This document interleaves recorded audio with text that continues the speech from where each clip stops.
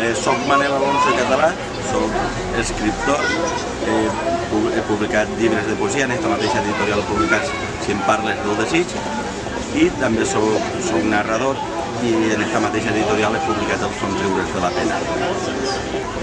Perquè és un llibre que demana ser llegit i se fa de llegir. Té una prosa àgil, és un llibre carregat de memòria, però també carregat d'ironia, carregat d'humor, carregat de tendresa i, i carregat sobretot de passió pel viure. És la història de molta gent que són perdedors de la vida, no? És a dir, aquests perdedors que han patit molt però que se sobreposen cada dia. És a dir, que fins i tot són capaços de, de, de, de pegar una punyalada a la pena, és a dir, fer-li un somriure, no?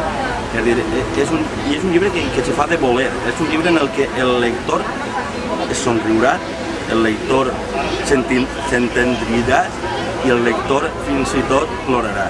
I, i són gent que, jo crec que se fan entranyables. Per exemple, l'àvia, aquella que, que, per, que en sa casa, en l'antic rebost, tenen les traques, els coets i tot això, i a l'hora de vendre-los, quan entra a agafar una traca o això, entra en una espelma, entra en una canala encesa, a buscar les traques, les carcasses i això, i qualsevol dia pues, po- podria haver volat tot, tota l'illa de cases, no? perquè és un perill.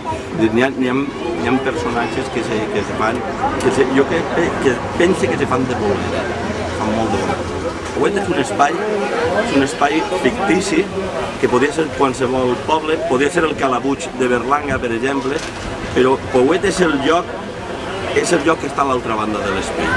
És a dir, nosaltres vivim en la realitat, a aquesta banda de l'espill, i atravessem l'espill i allí està Pouet, on, on la meva fantasia, el meu món personal, és dir, eh, la meva memòria pren vida i on, i on tot pot ser possible, on tot té una altra visió, on li podem pegar les voltes a les coses, no? Pouet és, eh, eh, és l'espai de, de, de, de, la, de la meva fantasia, de la meva, de la meva narrativa, saps? I ja apareixen altres, en altres novel·les i en altres, en altres llibres. La societat hi ha, hi ha uns pocs que són els campions, no? però els perdedors són la majoria. És dir, eh, viure suposa això, viure és una cosa molt dura, és una cosa molt difícil. Eh, així hi ha perdedors de, de la quotidianitat, hi ha persones que són perdedores, però també hi ha, apareixen alguns personatges que són perdedors d'una guerra civil i que, ha, i que han de viure havent perdut una guerra civil.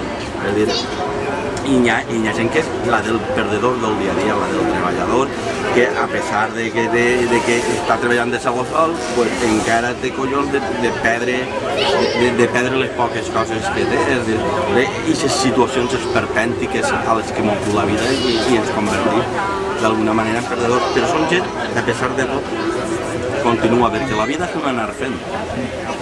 És un llibre que a pesar que són 30 relats, té una certa unitat i el lector no se veu obligat a començar en cada relat a entrar en un univers literari diferent. Tots els relats tenen una unitat i d'alguna manera hi ha personatges que, que, que se repeteixen en diferents, en diferents, això, en diferents relats i, i, i hi ha tot un, un univers literari que podia passar en Pouet, que és un poble inventat, però que podia passar en Benicarló, en Vinaròs, en qualsevol poble de, del Mediterrani, no?